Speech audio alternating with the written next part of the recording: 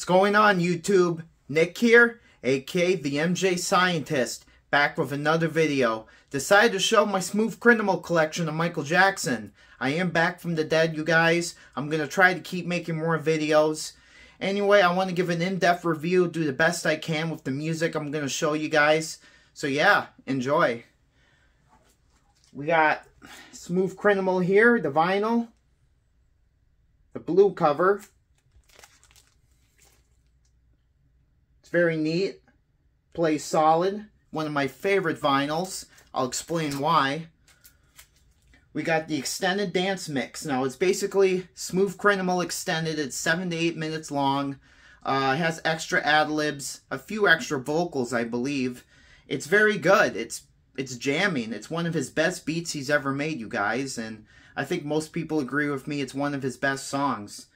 Uh, we got the extended dance mix radio edit. It's the same thing, just a shorter version. Uh, I don't know how long it is.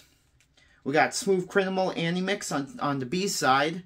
It's really good. The Annie Mix is quite different. It's still the same song. The instrumentation, I believe, is still the same. But it's quite good. We got Smooth Criminal Dub Mix. That's really good, you guys. That's one of my favorites on here, is the Dub Mix. Uh, it's a club banger. That's what I call them. And Michael sure knew how to bring those club bangers to life. We got the acapella. The acapella, you guys, is my favorite. I know I said the dub mix is my favorite, but the acapella is really good. Um, you can hear his fingers snapping, him stomping on the floor, him really ripping the mic. It's just quite amazing, this guy's vocals and what he was capable of. Smooth Criminal on vinyl. Now we got Smooth Criminal Moonwalker Edition. I like this a lot. It's actually the same thing as the blue vinyl. Same mixes on here, I believe. Uh, yeah. Let me do a comparison, actually. Yep, same music. So, yeah. But the cover is really cool. Um, if I had to pick a favorite of all these remixes that they released, probably the acapella would be my favorite. You get such an in-depth look at Michael when he's just in the studio making a song. It's quite amazing. Okay, we got the cassette. I don't know how rare this is. I've seen people have it. The instrumental is on here, which is just amazing. It's such a great beat, you guys. Um, yes, it says Bruce Swedien, remixed by Bruce Swedien.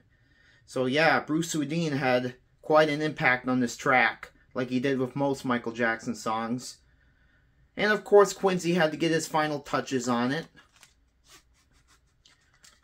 Here is the uh, cassette in great shape. Smooth Criminal on cassette. Great instrumental. Got the CD here. Still sealed. From Japan. Same thing as the vinyls. I tell you, that acapella is a must. Go look it up on YouTube, guys. It's out there, I believe. The acapella is my favorite gosh, the dub mix too. I got, I don't know what's my favorite anymore, you guys. Smooth Criminal for Life. Great Michael Jackson song. Anyway, you guys, that's it. I wanted to make a quick video showing off my Smooth Criminal collection. Tried to do the best review I could. If you guys want to see more reviews of me looking at items, please hit that like button. Thanks you, thank you guys so much for watching. And remember, keep up the hunt. Keep up Michaeling. Thanks, guys.